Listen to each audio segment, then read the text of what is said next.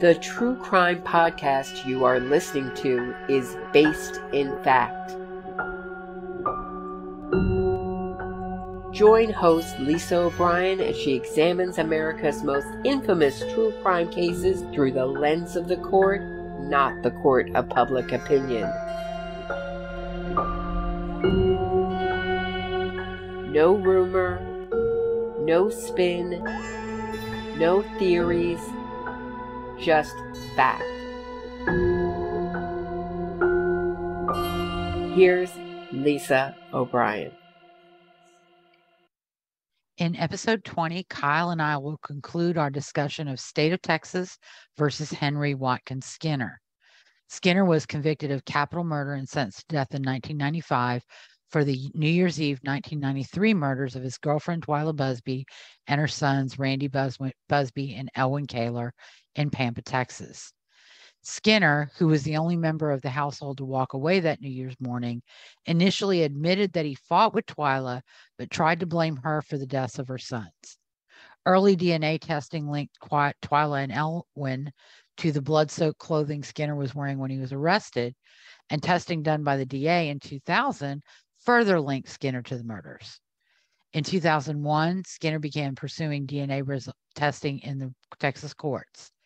In part two, we'll recap the evidence against Skinner, his direct appeal and post conviction claims in state and federal court, and wrap up our look at the case with a discussion of the DNA testing proceedings, agreed DNA testing conducted in 2012, and the court's resolution of Skinner's actual innocence claims based on those results. And it is today is December 29th, 2022. So Kyle and I are recording on an extra day. And uh, he's having some issues. Kyle, you there? I am. Oh, good afternoon and uh, happy uh, early early New Happy Year. New Year. Yeah, late early late Merry. Christmas. Yeah, late Merry Christmas. Hope you had a good one. I'm uh, the boss and I are recovering over a little bit of uh, the crud, but I'm starting to feel human. So Oh, looking forward to this. Yes. All right. Well, uh, let's go ahead and get the recap started. We're just going to kind of go through basic uh, procedural history for the case. Of course, our victims in the case are Twila Busby, who was 39 years old. Uh, her sons, Elwin Scooter Caler, who was 22, I believe, and her, uh, or no, he, yeah, he was 22, and her youngest was Melvin Randolph Busby, who was 19. He would have turned 20 on January 31st of 19, or no, he just turned 20 in January, so he would have turned 21 in 1994. Uh, the perpetrator is Hank Henry Watkins, Hank Skinner. Uh, he is a manipulator, he's a sociopath, he's a smooth talker, and he has alcohol and drug problems. Um, he has a lot of prior arrests, but his only convictions were aggravated assault of a peace officer and unauthorized use of a motor vehicle. Although he did have some pending charges for, I think, injury to a child and aggravated assault, I believe on Twila, uh, that he hadn't been tried for at the time uh, of his arrest for these murders. Yeah, so And- he sounds like an all around good guy. Oh yeah. So um and you know, he moved in with Twila and her sons in a little house in Pampa, Texas, uh, during the summer of 1993. Uh, they lived there. They were both heavy drinkers. They both used drugs. And um, while Skinner denies it, um, he has been accused by ma- many people of having abused Twila. But Twila loved him so much she wouldn't, you know, she wouldn't leave him. She wouldn't throw him out. Um, New Year's Eve, he and Twila were had spent the day partying. They were both really drunk. At around 9 p.m., Skinner called Howard Mitchell and asked for a ride to a New Year's Eve party. Uh, either Mitchell or his daughter were hosting that night. Uh, when Mitchell arrived about 45 minutes later, Skinner was passed out on the couch and couldn't be roused. Twila left the, for the party with Mitchell, carrying Skinner's bottle of vodka, which was probably her first mistake, or her second mistake. Leaving was her first. And while she expressed concern that Skinner would be angry if he woke up while she was gone, um, she went anyway. Once at the party, her uncle, Robert Bob Donnell, who also lived in Pampa, uh, allegedly followed her around making inappropriate sexual advances towards her. Uh, Mitchell, however, described Twila's reaction to these advances by Donnell more as annoyance or aggravation than fearful. Uh, once Yeah, 'cause had that's probably something she's been living with for probably Correct. a long lot of her And life. So she's probably there of are- there are- are some statements from some people developed during Skinner's post conviction where people actually said that Twila had told them she was in a consensual relationship with Donnell. Although I don't necessarily believe that to be true. Um, and given that Skinner is so jealous, how could she be involved in a consensual relationship with with Donnell without Skinner being, you know, having problems with Skinner? So Exactly. I don't know that that's, but I think that was all thrown into the pot to see what sticks. right. Just to muddy the Skinner. water. Um, Yep. around 11, uh, well, she was at the party. She had enough of Donnell's behavior, uh, and perhaps because she was concerned Skinner would wake while she was gone. Twila asked Mitchell to bring her home, and they arrived there about 11:15, 11 o'clock to 11:15. Twila uh, was last seen alive when Mitchell watched her enter the house that she scare- shared with Skinner, Elwin, Randy, and her daughter Lisa, who was staying with her grandmother that night because she was concerned about Skinner's heavy drinking. You know, I I mean, I always feel sorry for all of these victims and just what they have to put up and you know within their lives. But I don't know, it just sort of resonates me that of all of this poor lady's problems, having an uncle that is sexually harassing you to the point you have to leave a party. I just I feel for people. I know they're out there that have to live with these types of things, Yeah. but it just it's, it's And- tragic. And again, the the inference that I've drawn from Mitchell's testimony and statements about it is that Twila wasn't afraid and she wasn't necessarily concerned about Donnell or what he might do. Again, I think she was just annoyed and tired of it. Yeah, it's just yeah, it's like the old, you know, the stereotypical probably 80s office sexual harassment, you know, okay, I'm not scared of you, but I'm still really sick of it. I'd like to enjoy the party with my uncle Mhm. of all people bothering Yeah. me. Yeah. Uh, so f- about 45 minutes after Mitchell dropped Twila off, Officer Fred Courtney of the Pampa Police Department was dispatched to investigate a stabbing. He found Elwin on a neighbor's porch, bleeding profusely from a stab wound under his left arm that had punctured his lung. Uh, Elwin died at the hospital at 12:45 a.m. on January 1st, 1994. Pampa police officers followed a blood trail back to Twila's house. And when you see where their house was and where this place was where Elwin went, it's actually some distance. It's not like he went out and went right next door.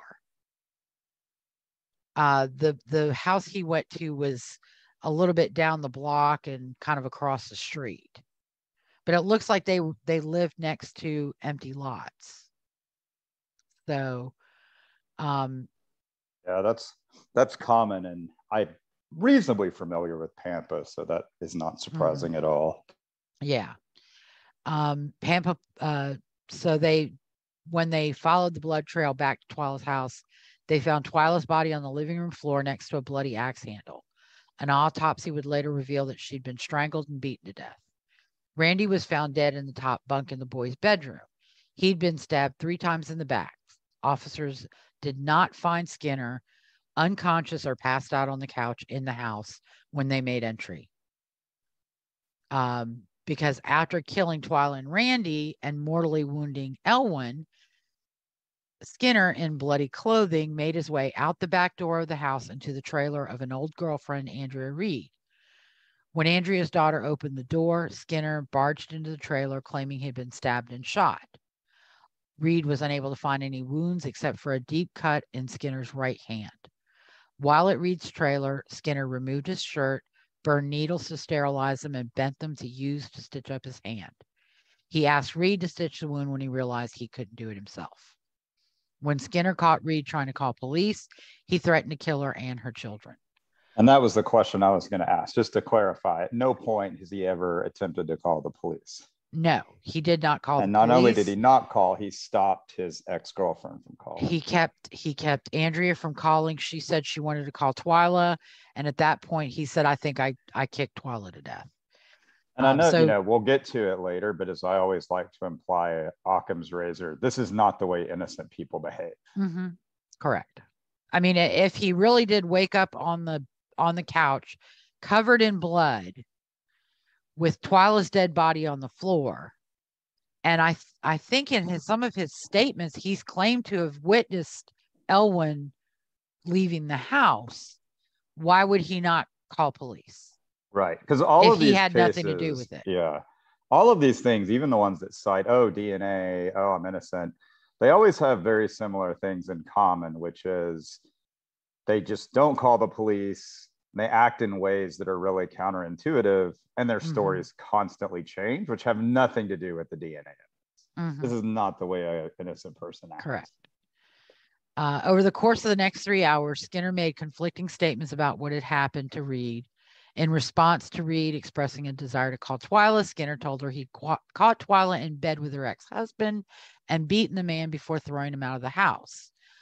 After swearing Reed to secrecy, Skinner told her that he may have kicked So- Twila to death. Can, can I ask you just a clarifying question? Is there any his is the ex-husband even in Pampa? Was he at the park? Like, would he? Is that even reasonable, or That- does the guy live uh, three hours away?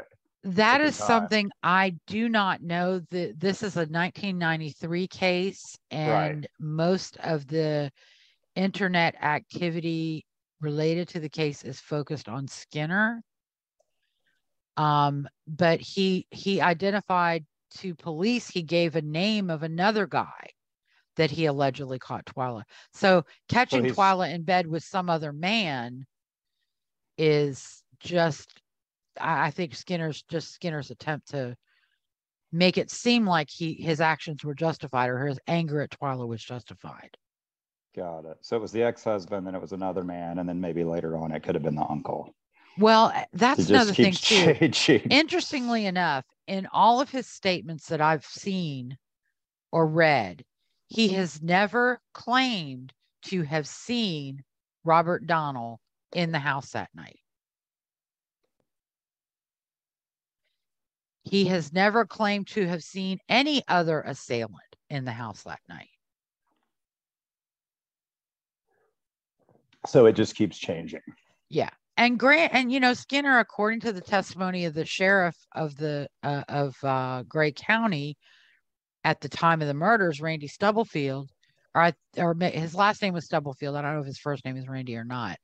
Um, Skinner was the type of person he would put his fist through a window right in front of a cop, and then claim he didn't do it. That it was like that when he got there Right.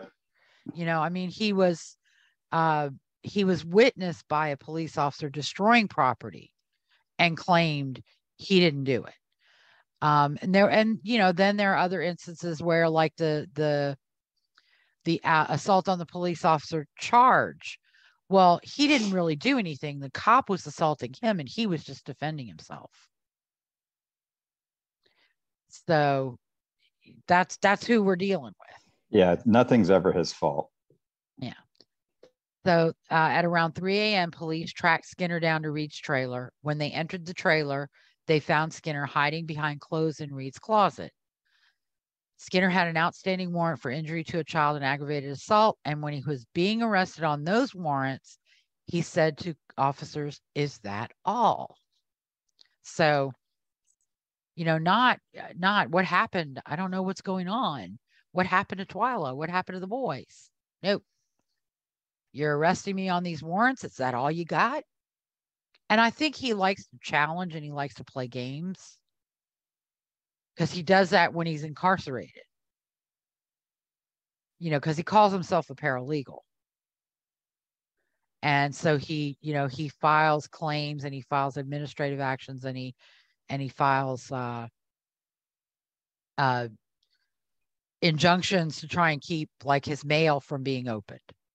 Yeah, it's funny. I was watching a few YouTube interviews with him and I was surprised. I think it was um, Werner Herzog actually pointed out he was making something about not being properly representative. And Herzog's credit at least said, weren't didn't you claim to be a paralegal? Shouldn't you understand, you know, at least more than the average person about, you know, proper representation? And he kind of muffled about some conspiracy with the judge. Uh-huh. Yeah, exactly. Yeah. And that's another thing too with Skinner is he cannot get the story straight. And when you ask him for clarification, he goes off on a tangent. Yeah, I mean, it's like, yeah, and that's the theme. You know, I always see these patterns and themes across all of these cases, and that's always one of them. It's just the ever changing story and a mass conspiracy, or you're the unluckiest person in the world that all this evidence points mm-hmm. to you. Correct. So, um, so Skinner's trial was held uh, from March 7th, 1995 to March 23rd, 1995 the state had DNA evidence. They didn't test everything because in 1995, uh, testing was somewhat primitive. You needed the quantity of material necessary was often prohibitive. The cost was often prohibitive. So in this case, they chose to test Skinner's clothing and and various blood spots on Skinner's clothing to try and determine whether it was all his or whether it belonged to him and the victims. Uh, which they found Twila and Elwin's blood or DNA profiles consistent with Twila and Elwin on Skinner's pants. Uh, the shirt, I believe, was all Skinner's. And however, even at trial, in 1995, the analyst testified that only one in 5.5 billion people would have the same DNA profiles as the ones extracted from the blood on the shirt and pants, including Skinner. And there were some mixtures, I think, of Twila, Elwin and Skinner in those profiles. Fingerprint evidence also showed that bloody handprints found on the door frame and doorstop molding in Randy and Elwin's room where Randy's body was found were consistent with Skinner's prints, as were bloody fingerprints found on the knobs of the door leading from the kitchen to the utility room. And the backyard was also uh, a door leading to the backyard was also identified as a, a print on a door was also identified as Skinner's.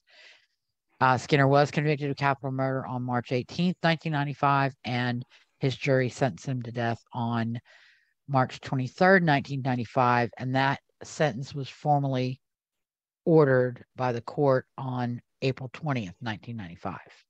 So, just to restate the obvious, so the victim's blood is on his clothes, mm-hmm. and his prints are found in their blood all over the house. No, the well, blood, all, but... the blood where the prints were found was not tested at the time but it, but it, but so okay, fair enough. I that's right. I was making that assumption it was their blood, but his prints were found going to one of the victims' room into the back, Correct. leaving the home. So his prints Correct. were found in multiple places in blood around the house. Correct. And um, uh, yeah. So that was um, that was the state of DNA. So his conviction from the beginning has been supported by inculpatory DNA evidence. Because victim's blood on your pants and it was front and back of the pants, there's no exculpatory explanation for that finding.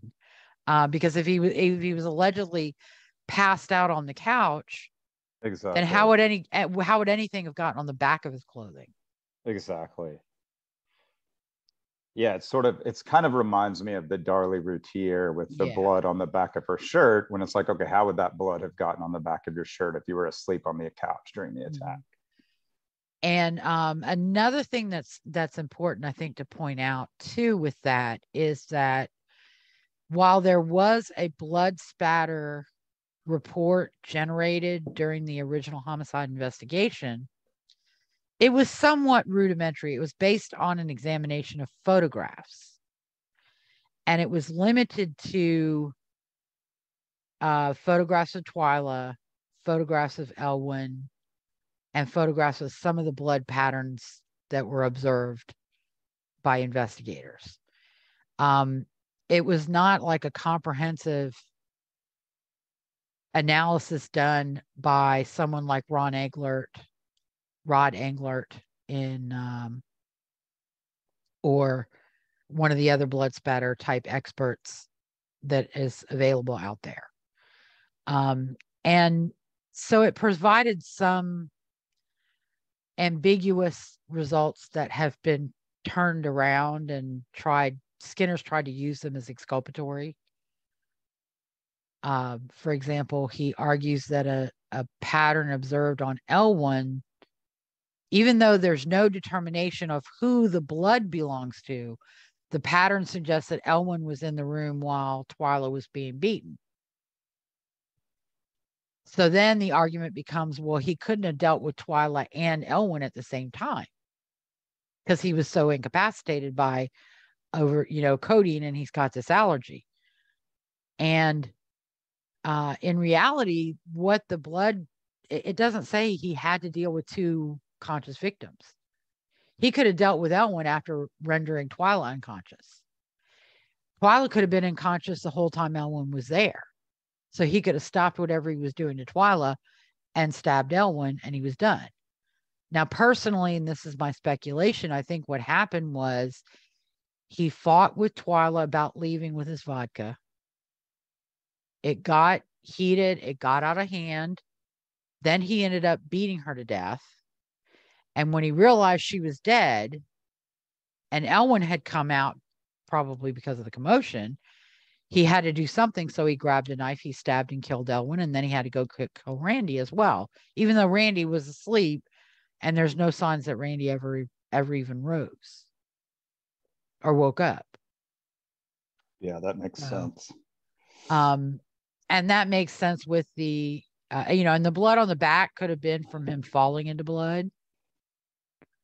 Uh, it could have been during struggle with the victims. You know, uh, a lot of different scenarios would support that. And there's never been a comprehensive analysis of the blood spatter by an expert of all the blood spatter not just the limited ones that were looked at in 1994. So, although Skinner will pretend that that is what he's got. On direct appeal, uh, the Texas Court of Criminal Appeals affirmed his conviction for capital murder and death sentence, uh, finding that while the trial court had erred in admitting certain work product documents, the error was harmless beyond a reasonable doubt. And that was uh, documents uh, used to cross examine, created by one of his experts, used to cross examine that expert. Um, it, been, it was basically pointing out flaws in the case, but the court found that a harmless error because the flaws in that document had been brought in through other sources. Or the flaws being identified by the expert initially had been brought in through other sources. Um, the U.S. Supreme Court denied Skinner's writ, uh, and his conviction and sentence became final on April 20th, 1998. Then Skinner moves to state post conviction, and we talked about this a little bit um, in more depth last time. Uh, basically, his um, first post conviction writ was dismissed as untimely because his attorney, who had been representing him since his direct appeal, filed a motion for extension of time to file the writ at the Court of Criminal Appeals when it should have been filed at the trial court because that's where the writ was due. uh, the the Court of Criminal Appeals denied the motion for extension of time without prejudice to go to the trial court. The trial court took no action on Skinner's motion, which was filed, I believe, the day after the writ was due, because it was due on uh, January 21st, 1998. And in his uh, presentations, Skinner failed to show good cause for the late filing under Article 11.071. Um, good cause would have been the attorney representing him had died. And so somebody else was having to get up to speed in order to in order to file the writ. Uh, that didn't happen because the attorney who was filing the writ and seeking more time was the same attorney who had been representing him mm, since July time. of 1997. Um, so the writ was dismissed as untimely on uh, January 27, 1999. He went to federal court for federal habeas uh, because you have certain time after your state post conviction conclusion of state post conviction to get to federal court. The magistrate judge, however, in federal court recommended that he be allowed to return to the state court for purposes of complying with the statute because a new statute had been enacted giving people who had filed untimely writs a chance to go come back and, and file their writ and have their writ heard. Um, and so the federal court set a 30 day uh, deadline for Skinner to file an initial pleading, which could have been an, a request to have an attorney appointed in state court um, to uh, get his writ in state court filed.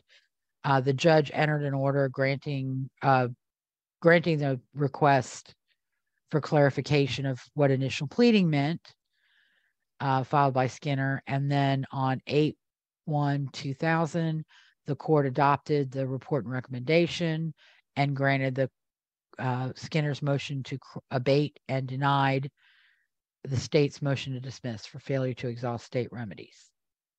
Because he hasn't had any state claims or any claims heard by the state trial by the state court. And in federal court, the state court has to get the first bite of the apple.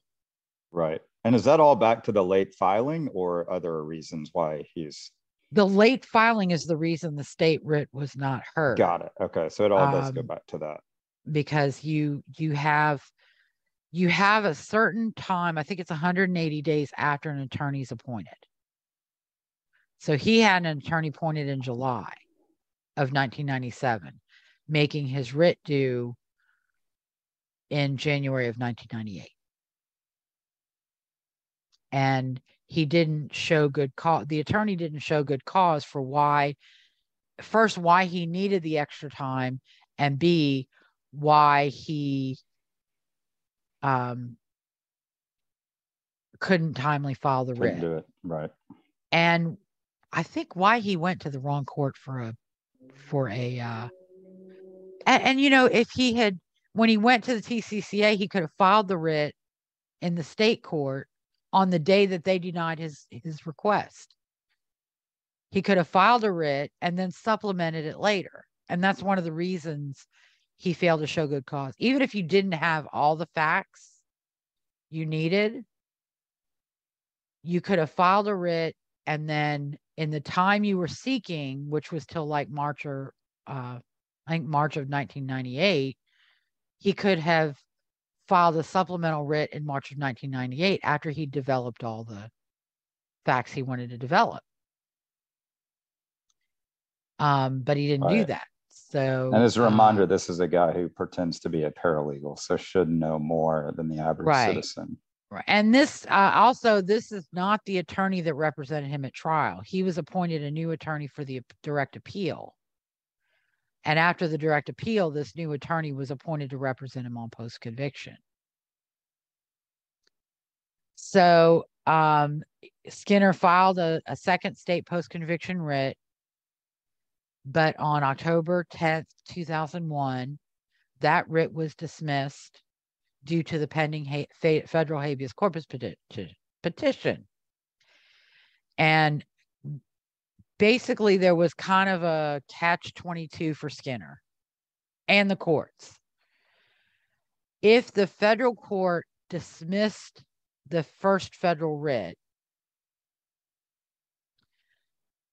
there was would have been an argument down the road that the whenever he refiled the federal writ of habeas corpus, it would not be timely. Because it runs from when your conviction and sentence become final. And not not you know definitely from the end of your state post. If you file state post conviction your writ filed after that concludes as timely but if you gotcha. file it untimely at the wrong time it's like you never filed it at all and when it's dismissed it's like you never filed it at all so and i think i'm probably sense. confusing people more than i'm explaining but um, so the court the, the magistrate file uh, basically chose the option that he believed to, would protect skinner's rights down the road and that was to not dismiss but to abate to stay and abate. However, in Texas, they have a federal uh, habeas corpus abstention doctrine, which means if you're in federal court filing habeas corpus or you have a habeas corpus claim pending before federal court, you cannot come back to state court and file a state writ because you can't have your claims considered on two competing forums at the same time. Got it. So once you decide to go to federal, you're you've effectively exhausted any state remedies. Well,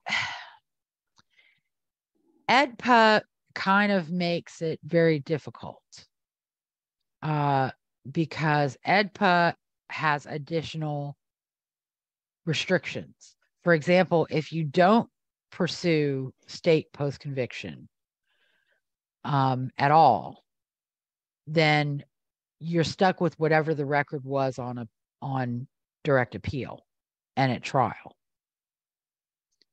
Whereas state post conviction is is generally the avenue that you use to develop the state court record as to trial, as to direct appeal, and as to whatever claims of federal or state constitutional violations that you believe occurred during your trial or your direct appeals. So, um, if you like in this case, he did file, but it was untimely. And when he had the opportunity to go back, the federal court was trying to protect his federal habeas rights by not dismissing. And but when he went back to state court because it wasn't dismissed and it was even though it was stayed and abated it was still there. And so the state court wasn't going to consider his second state post conviction writ. Gotcha. So then he went back and reopened uh, the federal habeas claim. And this is an instance where the federal court did any criticisms are totally unwarranted. The federal court did bend over backwards to protect Skinner's rights. And I'll explain that a little bit further. Uh, first of all, the magistrate recommended that the state's motion to dismiss for failure to exhaust state remedies be denied. The state's thought was that if the federal court dismissed, Skinner could file another state post conviction writ and the state would hear it and then he could come back to federal court. But again, the the federal court was worried that that dismissal would impact statute of limitations under federal habeas law. And so they uh, elected to overrule um, the state's objections to the failure to dismiss and the order the report and recommendation were adopted and the motion to dismiss was denied without prejudice uh, as set forth in the report and recommendation. Then in protecting skinner's rights the federal court allowed limited discovery at skinner's request to develop evidence not developed in state court because the state claims were dismissed uh, Skinner also got an evidentiary hearing, which was held November 16th, 17th, and 18th of 2005. Um, and that's another thing, too. I mean, the process has not been a fast one. It's four years since his, uh, it's been four years since his, or three years since his uh, federal habeas was reopened, and they're just getting around to the hearing. And the the docket from the federal court is like 25 or 26 pages long. There was a lot of stuff going on. I mean there was discovery they de- they deposed stubblefield uh, the sheriff they got um, the GeneScreen information that they'd been seeking from the state for a couple of years to evaluate the GeneScreen dna results which were done in 2000 um, and i'm talk about those a little bit later um, so then on February 22nd, 2000, the report and recommendation denying Skinner habeas relief was uh, adopted by the federal judge, and writ of uh, habeas corpus was denied for Skinner. On the 2nd of July 2007, the magistrate's recommendation that Skinner be denied a certificate of appealability was also uh, adopted, and Skinner's request for a certificate of appeal, appealability was denied. The case went on to the Fifth Circuit Court of Appeal, uh, which granted a, a certificate of appealability with regard to some of the claims Skinner was making, which were the claim that his counsel failed to use a blood spatter report and a claim of failure to discover and present witnesses testimony about Robert Donnell. Um, so they they did limit they did give him limited uh, certificate of appealability on those issues because it involved an allegation of ineffective assistance of counsel. Which, as we've talked about before, just seems to be what is a part of every appeal it seems like. Yes. And and a lot of that also involves second guessing. Um right. i think the only case that i haven't i've seen it thrown around as ineffective assistance but i have not seen it actually pursued as rodney reed. Got it. And richard glossip well, it's like you said. Sometimes it's just strategic. Like the, mm-hmm. you know, the the attorney might advise, you know, you shouldn't testify, right. and the defendant agrees, and then later on they say, oh, well, he wouldn't let me testify, so ineffective. Right. Counsel. Are they and they claim he they claim he threatened. Right. You know, it's not actual him. malpractice, if you will. Yeah. And I I remember there was a case years ago, and uh, I can't remember where what state or who it was, but um, the the defendant was in the post conviction hearing and he was testifying how the attorney threatened him and how when he had the colloquy with the judge in the courtroom the judge was threatening him. So he just said what the judge wanted him to say. That was his testimony to the direct examination. Well then the prosecutor on cross examination brought in those transcripts and reads, you know, the judge's question because they they have like a script and they ask you this question and you answer yes or no. Right. And they ask you the next one and they answer yes or no. And he's like, Well, where did the judge threaten you? And it's like, Well, it was his eyes. you know, but you could see, and this is like on court TV or somewhere. Uh, I maybe even found it on YouTube somewhere.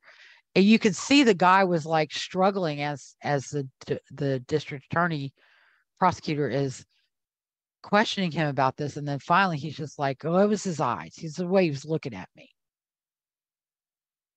That's not to be on the record. You know so it can't be it can't be refuted but it's kind of unlikely. Right. And um so but you know he's like well did you ever tell anybody? Because a lot of times too is that gets people is they'll they'll make up something like this like well did you ever tell anybody? Did you tell your post conviction attorneys that you were threatened by the judge and you were threatened? And you know defendants will say they were threatened before the court went on the record um, right. and always something that's improvable, just like they can throw out the, yeah, you know, the one armed man well, who did it, who no one I, ever saw, but you know, without chasing them down. That I've actually, I've actually seen court reporters brought in to testify that when when the judge came on the bench, I started taking testimony. I recorded everything, and even producing, you know, the transcripts of the introductory because the judge will come on the bench and and you know make an announcement of what he's right. there for or why he's there. And she's like i record every minute of that. And there was no off the record you know right. thing. So all right. So then the fifth circuit uh on july 14 2009 uh basically affirmed the district court judge court's judgment denying relief they found that um, Skinner had failed to demonstrate that the omission of the blood spatter report was sufficiently prejudicial. Even taking the report at face value, it did not establish beyond mere speculation that the blood on the son was the girlfriend's. And further, the evidence showed that the girlfriend would have been unconscious from strangulation, and therefore the inmate would not have had two active victims in the same room. Further, there was ample evidence that inmate was the murderer, including his confession and the lack of physical evidence of any other perpetrator. The court held that there was no reasonable probability that, but for counsel's failure to use the blood spatter report, the result of the proceeding would have been an acquittal. And so that was that. Uh, Skinner did take a writ to the U.S. Supreme Court, which was denied on March 1st, 2010. Uh, and it was on November 27, 2009, that Skinner versus Switzer was filed because of the denial of DNA testing in state courts, which we will talk about a little bit more in later.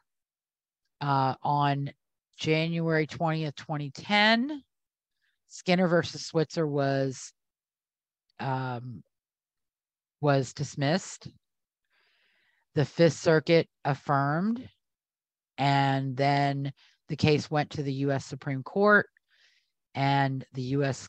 Court of Appeals, uh, the Supreme Court ultimately, in an opinion authored by late Justice Ginsburg, uh, found in Skinner's favor and reversed the Fifth Circuit and remanded the case for further proceedings consistent with their opinion. It was a 6 3 decision. Uh, and Justice Thomas, of course, authored a, a very interesting dissent. So now we're at part two. And we're going to talk about first the state DNA proceedings. And we're going to kind of mix in some execution dates and, and some state subsequent state proceedings. So it's it was very difficult for me to do this outline because I wanted to keep it in some chronological order, but it was very difficult to do because the the, the remedies and the avenues being pursued were different and and kind of went into different categories. But since one of Skinner's main claims will be that the results of mtDNA testing are mitochondrial DNA testing uh, are exculpatory as to him, um, the first thing we have to do is I, I have to point out that the hairs that do not exclude Twila also do not exclude her maternal relatives because mitochondrial DNA is passed unchanged through the female line. Um, STR is passed unchanged through the male line because it's the Y chromosome. So, um, Twila, the mitochondrial DNA results do not exclude her grandmother, her uncle Orville, who was deceased by 1991. But if he'd been in the house and had shed hair in the house, it would not exclude him. Her uncle Robert Donnell and her other uncle Lewis Frederick Bub Donnell. Um, then it would not have excluded her mother, Beverly Ann Donnell Clark, Ward Clark, her siblings, Douglas Ray Ward, LaDonna K. Ward Alderson, or Bobby Jean Rusty Ward Jr. And it would not have excluded her children, Elwin, Randy, and Lisa. Um, pre-trial, as we talked about earlier, uh, the state had collected various items from the scene, but only tested the clothing being worn by Skinner, more likely than not due to some of the limitations of the technology at that time, and basically found DNA profiles consistent with Twila, Elwin, and Skinner. Uh, and those profiles were basically one in 5.5 billion people would have the same DNA profiles as the one ones extracted. And this is nuclear DNA. It's not mitochondrial. It's not uh, HLA-DQ alpha. As far as I can tell, it's nuclear DNA because HLA-DQ alpha they can only say percentage wise. Right. Um, then in 2000, the DA, at urging from David Protess, who we know uh, well, you may not know this because you weren't with me then, uh, who we know from Clear and Convincing, framed a gentleman by the name of Alstory Simon for a murder committed by his client, Anthony Porter. The Chicago case, right? The, the Chicago, Chicago, case. Yes. Heart killing. Yes. Uh, and uh, I would I would recommend the documentary Murder in the Park. Yeah, it's a great one. It is awesome. And um, David Protess is one of the many fathers of the innocence fraud movement. And is he the is he the professor at Northwestern or was he one of the scientists? He was the professor at Northwestern. Okay. Um, he was a journal, and this is one of the things that I've always had a problem with. First of all, he was a journalism professor, not a law professor. Not a and law professor clinics, or a scientist. Correct. And his clinics were not legal issues. His clinics were, quote, investigatory. And they would use tactics that they criticize the police for in order to challenge convictions. Right and so it's i think it's important to double click on that because i'm not sure a lot is you know this is one of those things that you know the bias by omission just doesn't get a lot of coverage but really the person you know largely behind the innocence fraud movement began by framing an innocent man as you correct. said doing exactly what they using criticized correct. the police for using tactics they they lied to the guy they played a video yeah. of a supposed witness fingering him for the murder. Um, you know, they told him that he was going to go, he was going to go be executed. Exactly. So it just shows if he didn't the, confess, the yeah. desire, the kind of religious cultism, just to get person A off. They would mm-hmm. sacrifice person B. It's insane. Yeah. yeah. If you haven't watched the Murder in the Park, I forget which streamer is on, but I saw it last summer. It was really good. I think it was Netflix. That sounds right. Because it seems like I signed up for Netflix to be able to watch that one. It's a lot more interesting than um, Veruca Salt and the Spare Air telling us about the problems of being former royals. I'm not even going to go there. I just I cannot. I mean, you know, we ought to do a show talking about that because I got a lot to say about that woman. that would mean we'd have to watch it. I'm not sure. no, because I can go, I can tell you, well, okay, short version, spoiler alert. When you marry into the royal family, you are getting a shit show. And your life no longer is your own. It belongs to the paparazzi, it belongs to the media, and it belongs to the royal family. And you just have to deal with that. And the problem with Meghan is she's an American and she's dumb and she can't deal. Exactly. So then she wants to play the victim and be the victim. Because as an American, we're really good at that. Yeah, victimhood is the most powerful currency these days. Yeah. So that's that's my take on Megan And um, you know, my when they claim that the this the institution was racist, I'm like, girl, if they were racist, you would have never married him. Yeah, exactly. Because he could not marry without Queen Elizabeth's approval. Right. I mean, I realize it's been a hundred, well, what is a hundred, hundred years? But yeah, Uh-huh. the last guy that tried this had to abdicate. So she already was getting very Correct. special treatment. Correct. Well, he had to abdicate because as the as the supreme head of the Church of England, he could not be married to a divorced woman with two husbands still alive.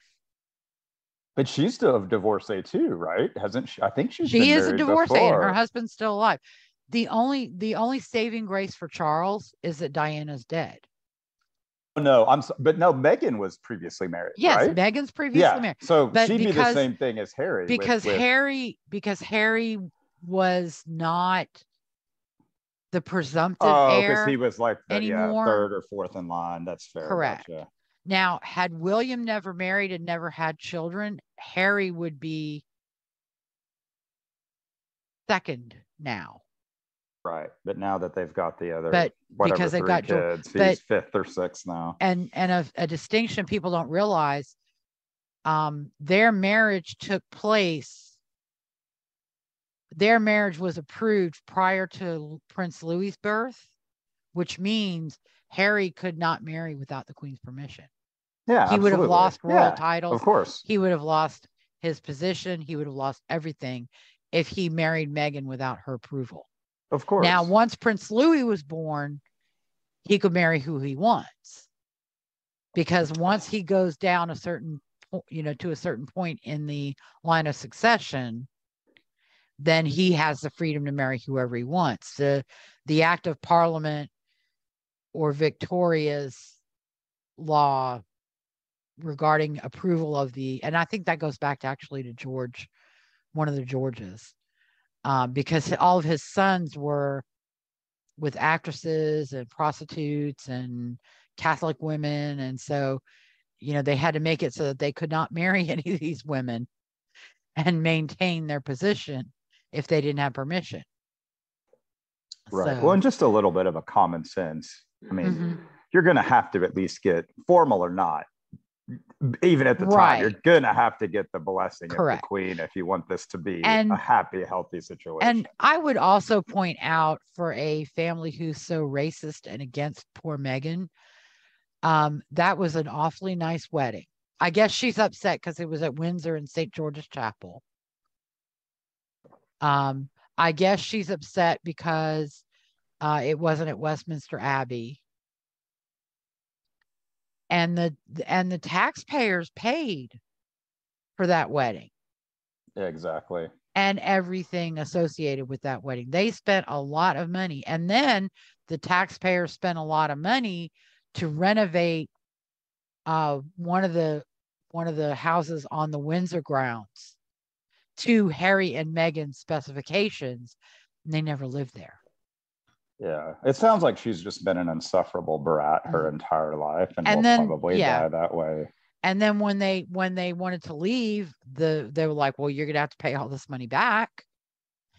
And so I think that that started off the um because when when you leave and you don't have all the benefits uh and and the duke of windsor was the same way he constantly complained that he wasn't getting enough money and he wasn't accorded the you know the uh respect he was due and they would not allow the duchess of windsor to be referred to as her royal highness although in the house in his household they did refer to her that way but officially she was not an hrh which is Well, a title Yeah. that that is you know they're very fond of Well, what you diana lost all- hrh too Yeah.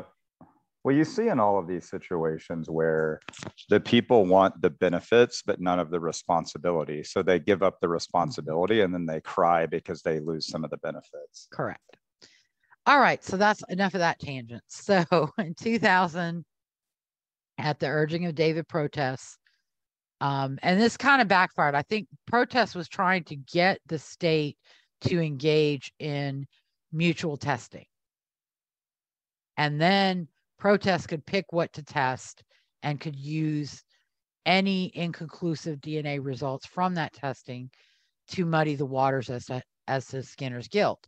But what the da did was like screw you. He sent everything off. He chose the lab and he did it without the without skinner being involved. So he tested additional items and the results were Twila was included as a contributor of blood on the cover of a blue notebook, a hair found on her back, a hair found on her left hand, and a hair from the axe handle. Skinner was included as a contributor to DNA found on a cigarette butt, and Twila and Skinner were both included as contributors to a mixed profile from hair in Twila's right hand.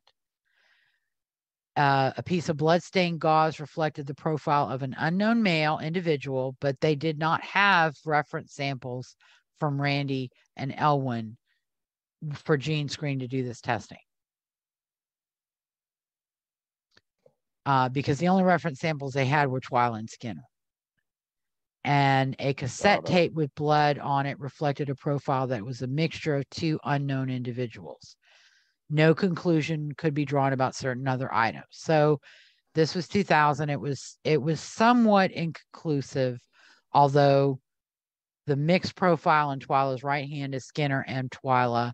I would say that that is pretty definitive. Right. Well, that's I think the thing that's lost in this is it's not like he claims he has an alibi and they didn't find any evidence against him, but he still got convicted. I mean, there's mm-hmm. a ton of evidence against him, and he's just like, well, if you don't test every single piece of fiber in the entire house, then it's unfair. Yeah, correct. That is, He and that is a good way of summing up exactly what the claims evidence. are. Yeah. Right.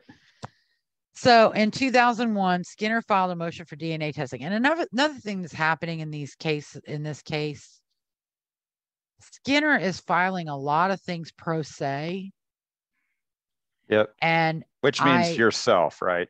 correct. Not without And- an attorney, as the great paralegal that he is. He's just filling, he's clogging the courts, basically. Correct. And one of the problems that and he and he apparently is doing it with the approval of his attorneys who um haven't objected. Now it may be that he's he's got protess may have been bankrolling funding for an attorney for him Right. and I believe he does have a French wife who's collecting money for attorneys. So he's not he's not an indigent he's not benefiting from indigent rep- representation or representation at the expense of taxpayers in Texas. Um, although the attorneys representing him may get some taxpayer dollars in federal court. I'm not sure. Right. Um, Well, and I mean, I hate to inject just common sense. I mean, these were, these people seem to have a somewhat chaotic and likely violent lifestyle. mhm, The fact that a drop of blood might be found somewhere in the house doesn't seem unrelated to the crime. You know, there was a fight six months ago, doesn't right. seem to be completely, again, outside of, of, the realms of possibility. I mean, especially on a cassette, right? I mean, cassettes are usually held in pretty tight spaces, those little bitty slots. It wasn't like, you know, it's not super easy for blood to get in there unless, you know, somebody, you know, right, right, got blood on it and then put it up, you know put it in mm-hmm. the case. Correct. Um, so then um, his his first motion for DNA testing was denied on July 2nd, 2002. He appealed that to the Texas Court of Criminal Appeals on August 1st, 2002. On December 18th, the Court of Criminal Appeals sent the case back to the trial court to get an uh, an order from the trial court that basically followed the Article 64.03, uh, which required certain questions be answered to uh, for them to evaluate whether testing was properly denied uh, by the trial court. Um, it's a 64.03 determination, and that the supplemental record had to be filed within 30 days. The supplemental record was filed on January 22nd, 2003, and that included the judge's findings of fact and conclusions of law related to the request for DNA testing. Um, on September 10th, 2003, the Court of Criminal Appeals issued an opinion uh, affirming the denial of DNA testing. Skinner filed a motion for rehearing on September 25th, 2003. I don't know what the grounds for that were. Um, I've never been able to find that actual motion. Uh, but on December 10th, 2007, the rehearing was denied, and the Court of Criminal Appeals issued what was a replacement opinion withdrawing their September opinion. And basically, they found that um, the trial court, let me see, um, they basically found, assuming arguendo, that each piece of evidence was provide negative results for the defendant, he still did not meet the standard of proof because DNA evidence from the previous test was inculpatory. The analysis demonstrated the intermingling of victims and defendants' DNA, probably during the time when she, Twila, was struggling for her life. Because defendant's DNA was found mixed with the victim's DNA in her right hand during the autopsy, there was nothing about the other items found at the crime scene that, if linked to a third person, would cast doubt on defendant's presence at the scene or his involvement in the offense. Given that evidence, the presence of a third party's DNA at the crime scene would not constitute affirmative evidence of innocence. And that is even, like they said, third party DNA on the knife would not exonerate Skinner because he's got the victim's blood on his clothing and right. he's got a mixture of his blood and, and Twila's or his DNA in. Twila's in Twila's right hand. Right. Because when he said, I mean, he says they won't test the DNA. Mm-hmm. That's not really true. They've tested the DNA. They just, he wants them to trust. He wants to test DNA. everything. Yeah. And he wants yeah. to use that testing and the results of that testing, anything that doesn't point to him, right? Anything that's unknown. Because one of the things that I'm going to point out to everyone, they may not know this or understand this, without a reference sample from Robert Donnell, they're never going to be able to determine whether unknown DNA belongs to him or not. They might be able to try familial DNA, like get DNA from his surviving brother and look at YSTR. But even that isn't necessarily going to answer the question. It's certainly not going to definitively prove that Robert Donnell is guilty based on nuclear DNA. because they don't have a reference sample. And they don't have a reference sample to even develop mitochondrial DNA for him. Right. It's just presumed because he's a maternal relation. I mean, it would be hilarious to find out all these years later that Bobby was taken in from another family by the Donnell family and wasn't even bi- biologically related to any of them. That's just speculation, but it's it's a situation that isn't necessarily even unlikely because uh, he was born in 1930 and during the Depression. Yeah, absolutely. I mean, you know, my great grandparents took in a child. Yeah, it from a be, relative for several be years. Insane. Yeah, I mean, you know, well, they actually took the child in, I think, during the twenties with their, you know, with their daughters.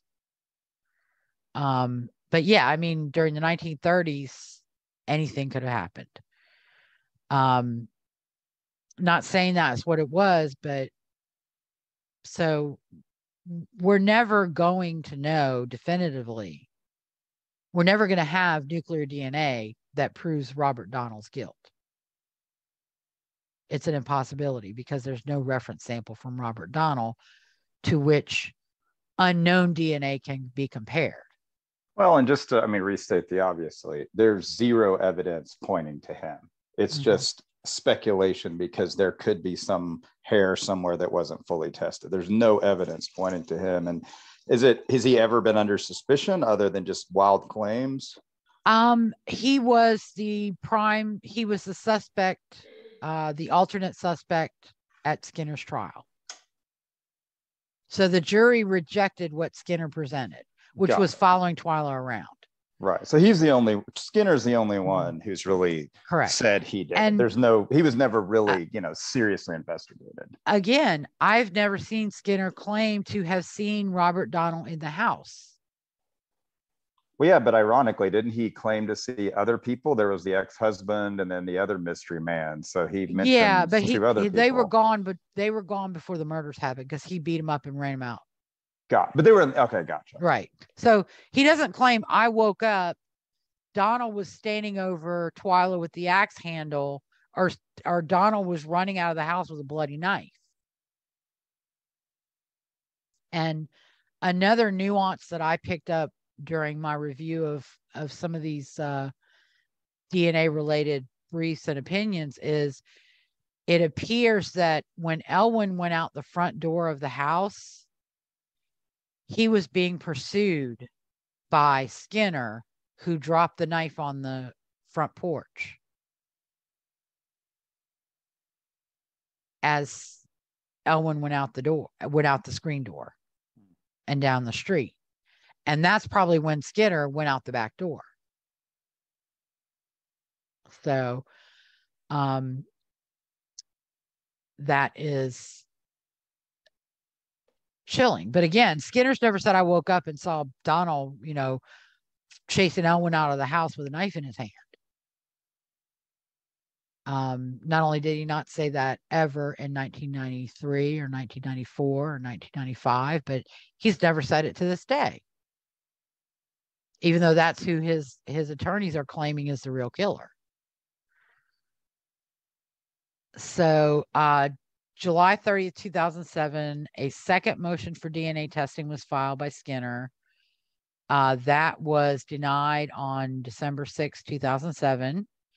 And the reason for the denial uh, of the trial court at that time was because his attorneys did not seek DNA testing at trial.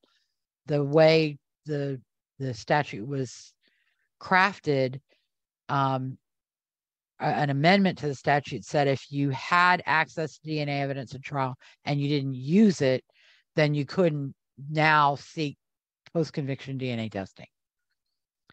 And that was an effort to try and prevent people who were convicted with some DNA evidence from seeking testing when they didn't do so at trial. Um, the Court of Criminal the Texas Court of Criminal Appeals issued a an opinion on September 23rd, 2009, basically affirming the denial of DNA testing uh, by the trial court.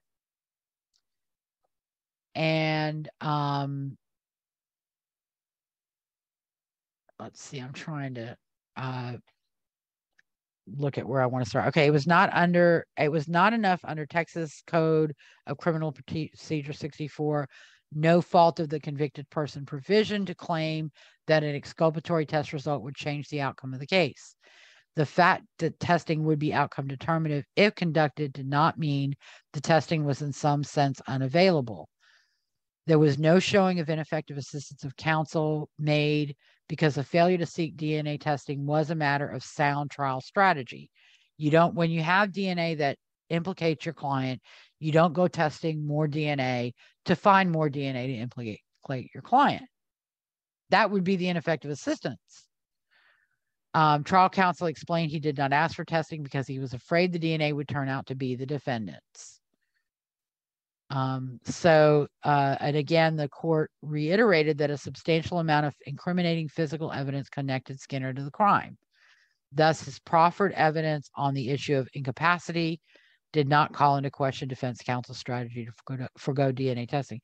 And this is an instance similar to Reed, where they're trying to use information they've developed and arguments that they've crafted now to try to justify getting DNA testing because now they've got people saying Skinner absolutely could not have committed the murders because he was allergic to codeine and he was so whacked out of his head that he could not have even walked.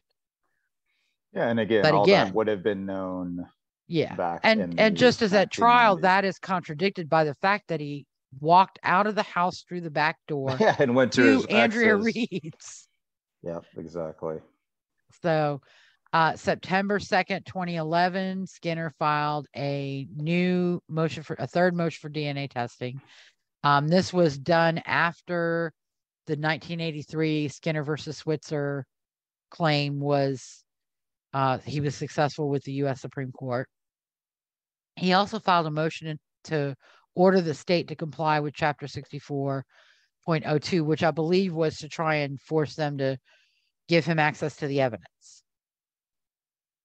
um, on in Skinner versus Switzer on October 27, 2011, the U.S. District Court magistrate recommended that Skinner's proceedings be stayed and abated pending resolution of his third DNA motion in state court. And Skinner was ordered to file a motion to lift the stay within 10 days of any action by the CC, the Texas Court of Criminal Appeals. The third motion for DNA testing was denied on November 2nd, 2011. The district court uh, adopted the report and recommendation. So the basically Skinner versus Switzer, as of November 4th, 2011, had been stayed. And the case was administratively closed at that time. Um, the Court of Criminal Appeals on November 7th ordered the district court to enter an order containing relevant 64.03 determinations within 15 days of their order and um, requested a supplemental clerk's record from the uh, district court. Skinner filed a notice of appeal on the 7th, and um, he had an execution date pending in November of 2011, which I haven't gotten to the execution dates but that was stayed because he was pursuing DNA testing. Uh, the supplemental record was filed on November 15th, and a second supplemental record was lodged on November 18th. And then the judge's amending order was filed on November 21st, basically finding that Skinner had not established that he would not have been convicted with exculpatory DNA results. And Skinner's request was not made to unreasonably delay the execution of his sentence. Um, and then the case was submitted to the Court of Criminal Appeals to uh, on May 12th, 2012. So Skinner has had several execution dates, and I'm just going to kind of run over them. Uh, he was set for a date on March 7th, 1999. There may have been a pro forma date in 1995 as well, but I didn't find the exact date, so I left it off. He was also set uh, for a date on October 20th, 2009. The date would have been February 4th, 24th, 2010. Um, there was an issue with the death warrant issued by the court on November 13th, 2009. So uh, a motion for stay of execution, uh, or rather a motion to vacate and withdraw that date were granted, and the date was changed to March 24, 2010. And that date was ultimately stayed by the US Supreme Court due to Skinner versus Switzer. Um, Skinner filed multiple state, subsequent state claims, uh, some in 2010 while pursuing Skinner versus Switzer. Uh, he had a writ of mandamus and a writ of prohibition seeking to block the execution on February 24th. Uh, those were ultimately, he wasn't granted um, leave to file those. He also filed a subsequent state claim alleging actual innocence, and that was denied um, or dismissed as successive. And his stay of execution and time for investigation of claims were also denied. And um, he had a motion in federal court to stay his execution, which was denied for lack of jurisdiction. Um, and the he got another date in July of 2011 for November of 2011. And uh, he filed a motion to modify or withdraw, and at the same time, filed the third motion for DNA testing. Uh, he filed a motion for stay of execution at the Court of Criminal Appeals, and that was ultimately granted, although I don't have it on the outline. And then lo and behold, they agreed to uh, they the parties got together and agreed to DNA testing. And so on June 12th, they filed a joint motion to vacate and remand for submission of an agreed proposed order for forensic DNA testing at the Court of Criminal Appeals. That was granted and the appeal was dismissed. A, an agreed order for DNA testing was entered at the district court on July uh, June 22nd, 2012. And then a motion to dismiss was filed in federal court on July 20th, 2012, dismissing Skinner versus Switzer. And that was granted and dismissed on October on July 31st. So DNA testing begins in June. In November, uh, on November 14th, 2012, the state filed an advisory regarding DNA testing. And the results were first of all, Twila was not sexually assaulted. The only DNA found in her sexual assault kit was her own. There was no foreign DNA under her fingernails. Of 18 hairs from her hands, eight matched her DNA, and there was no DNA recovered from 10 hairs. And I believe this may have been hairs with roots that were capable of nuclear DNA testing. So the 10 hairs weren't capable of nuclear DNA, and they were probably what was later subjected to mitochondrial DNA testing. Spoiler alert Skinner's DNA was found in locations in Randy and Elwin's room on two stains from a cassette tape, two stains on a tennis shoe, one stain on the comforter bedspread, I believe on Elwin's bed, one stain from the dresser, one stain from a cassette holder, and one stain stain from a handprint on the door frame. So now the blood stains, the blood stain, the blood where the prints were found has now been DNA tested where it hadn't been before. And the blood the blood stained prints were in Skinner's DNA. They also it found getting worse with every new revelation.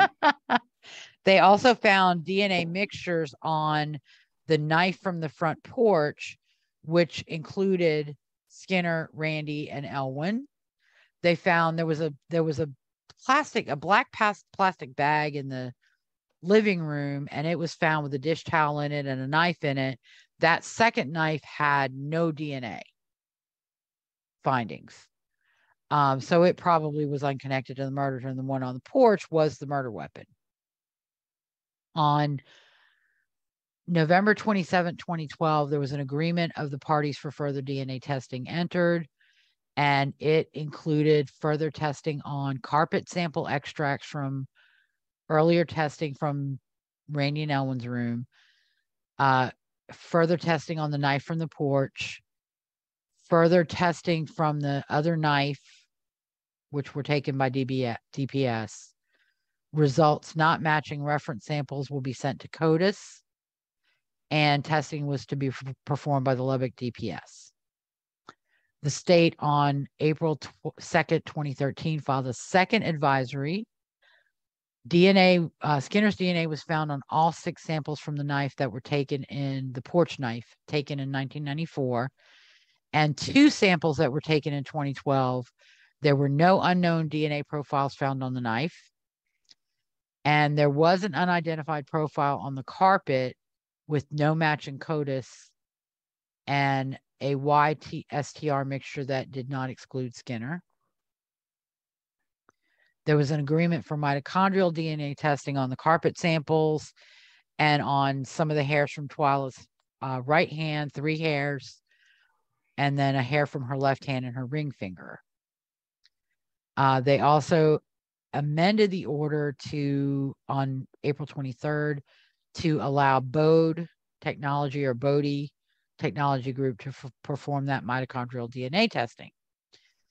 On August 30th, 2013, Skinner's attorneys filed a third advisory regarding DNA testing. And this has got to be the most ridiculous circular argument of pure speculation, nothing but pure speculation um, I've ever read in any case in my life. And this pretty much sums up how Skinner's attorneys view these DNA results. Um, first of all, they do concede that mitochondrial DNA testing found one of the hairs in Twila's hand belonged, you know, did not exclude Skinner, because that's all mitochondrial DNA can say is it doesn't exclude Skinner. However, they argue that the mitochondrial DNA from three of the hairs in Twila's hand don't exclude Donnell, and therefore they implicate Donnell. They basically claim Skinner's DNA is on the knife because he handled it all the time, and that it was in other locations in Randy's and Elwin's room because of contact unrelated to the murders, contamination, and or transfer. They also argue that had Skinner killed the victims, as the state claimed, the DNA should have been mixed with Randy's on his blanket, and that the DNA on the door handles should have been a mixture of Skinner or one or more of the victims. Finally, they allege that because the mitochondrial DNA on the hairs do not exclude Donnell, Skinner's defense has evidentiary support. Um, it's the longest winded bunch of bullshit I've ever. It even gives Glossip's attorneys and Don Knight a run for their fucking money. So, said another way, there was originally initial DNA testing. It mm-hmm. just pointed to Skinner. There was later DNA testing. It just pointed to Skinner.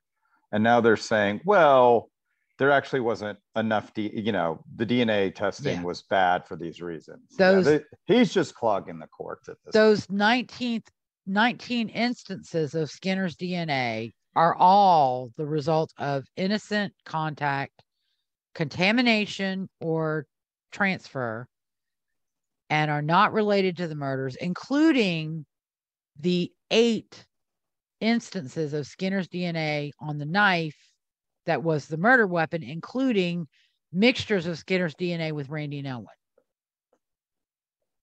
Yes they're arguing that's meaningless. And that w- even with that, these inconclusive results and speculative arguments would convince one reasonable juror not to not to convict. And I think that's another problem is that the the standard they're using is we've got all this information we're throwing it all at the wall some of it's bound to stick and a juror would not convict him. When in reality you have to show a little bit more than that. Right. You know? Um so they have uh, an agreed evidentiary hearing order because it's not going to end there. There's going to be an evidentiary hearing which was scheduled over two days um, february 3rd and 4th of 2014 the court set some deadlines for identifying witnesses and or designated witnesses and exchanging exhibits. They also included some stipulations. There was a jacket that appeared in pictures from the crime scene. Um, it was it had some blood spatter on the sleeves, which I think has been misrepresented and mis characterized by Skinner. Um, also, he has tested, he has stated in interviews that the jacket was a men's 44 large. He says that wasn't my jacket. I couldn't have worn that jacket because it would have swallowed me up. Well, guess what? It would have swallowed Bobby Donnell up too, because Bobby Robert Donnell was as much an Oompa Loompa as Henry Skinner. uh, in fact, Of Bobby course. Donnell was probably smaller than Skinner because, according to the Oklahoma DOC, Bobby Donnell was only five feet tall. Skinner's supposedly five nine. Although I know a lot of short men are five nine. um, I had a boss who, according to his driver's license, was five nine. I'm only five two, and when I wore three inch heels, I was looking down at the top of his head. So I don't think he was five nine. Um, but uh, for whatever that's worth, so Bobby Donnell couldn't have worn it either. And he, they have a witness who said, "Oh yeah, he had a jacket exactly like that, but not a men's 44 large." Now, the person that jacket would have fit Randy, and it would have fit Elwin. It might have been a little big on Elwin because Elwin was very thin, but it would have fit Randy perfectly. So more likely than not, the jacket, which just happened to be there and got blood spatter on it while Skinner was beating um, Twila to death, was, you know, just there, and it belonged to Randy, or Well, yeah, it, it might have belonged to Elwin. right. It was New Year's Eve. It was chilly. It's you know, Mhm. it gets really cold in the panhandle at this time of year, so it wouldn't be shocking there was a jacket out. Yeah. So, um, but anyway, yeah, he argues, and they wanted to do, you know, what they wanted to do was test the collar and test the armpits and see if they could develop a DNA profile from that. I mean, he's, I mean, at this point, I mean, it's a little bit frustrating. I mean, at this point, he's basically wanting to just reinvestigate. I mean, this has gone, at least as a layperson, it feels like this has gone well beyond any Mhm. kind of appeal. I mean, he's literally wanting a brand new investigation to start from day one and just reinvestigate the case through the appeals Correct. process. Correct. Um, and and I think the biggest problem with this again is he lacks reference sample from Donnell. And that's probably what he's going for, right? Because he probably, maybe he's clever enough to know that, but it's enough to cast doubt, especially if you have a mystery suspect where you can't ever prove it was him or not him. That's going to be enough to get a lot of money from French folks. So yeah. Uh, and and people who oppose the death penalty no matter what. Um, there was an agreed order entered in January of 2014 authorizing the release of DNA data for lab personnel due to inadvertent contamination of some evidence during 2012 testing at DPS. And that was um, two lab personnel who uh, took part in testing in 2012. Uh, their DNA was found in a couple of unknown samples that were developed during the course of testing.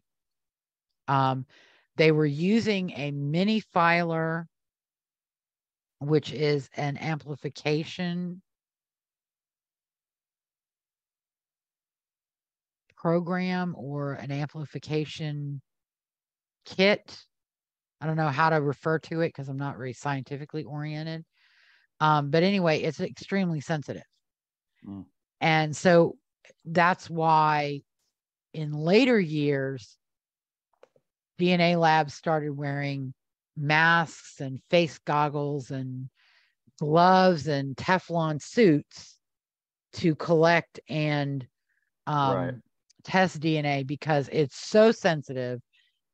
Basically, what they believe happened is, for example, one of the contaminations, the guy was present in the lab talking to the analyst, and somehow his DNA ended up on the sample that the analyst was working with at the moment. Right.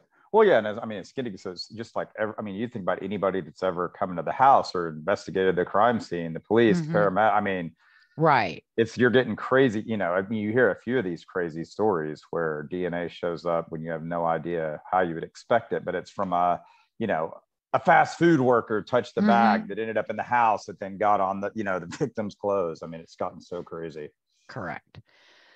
So, um, they also entered at that time a stipulated order in, in April, actually. They entered a stipulated order setting a date for filing of proposed findings mm-hmm. of May 30th, 2014.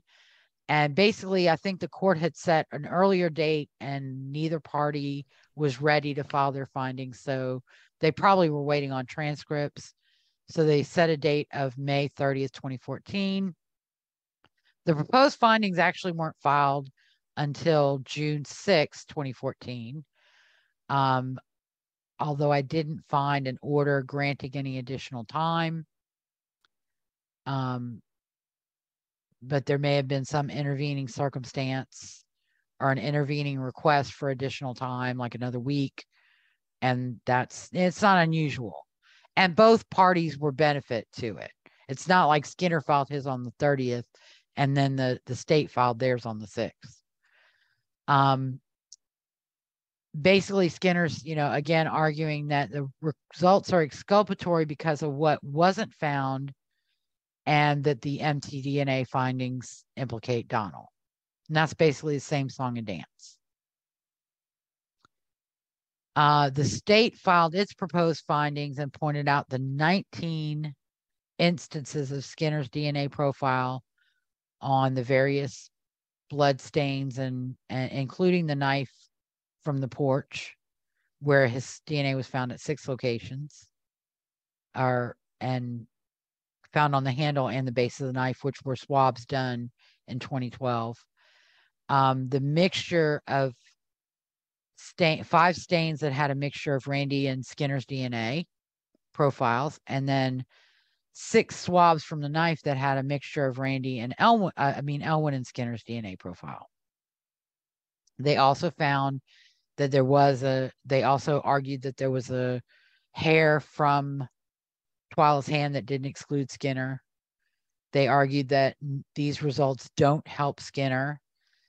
They also argued because one of the arguments being made by Skinner is that at some point during an examination, the hairs were characterized as being visually dissimilar to victim hair. And they pointed out that that statement about the hairs found in these reports were not the result of a microscopic comparison of those hairs to reference samples from the victims and the people in the in the Busby household. They were basically just like a cataloging. This is what the hair looks like. This is what color it appears to be. And it doesn't appear to be similar to the victim's hair because the victim's hair was brown and this hair is blondish reddish. And that was actually across all the hairs that were were cataloged. Um, and so the the one that doesn't exclude Skinner isn't is visually dissimilar to him as well.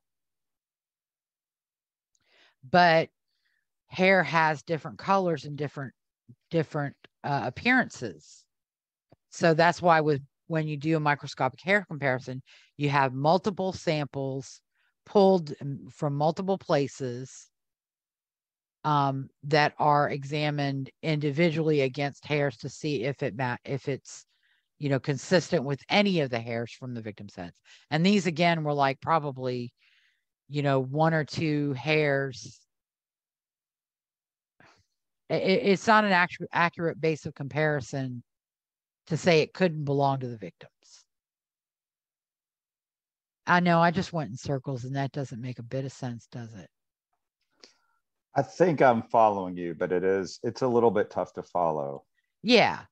Um, and it's equally tough to to follow. Yeah, it's that they're saying, even though I mean, it would probably have been visually dissimilar to Donald's hair.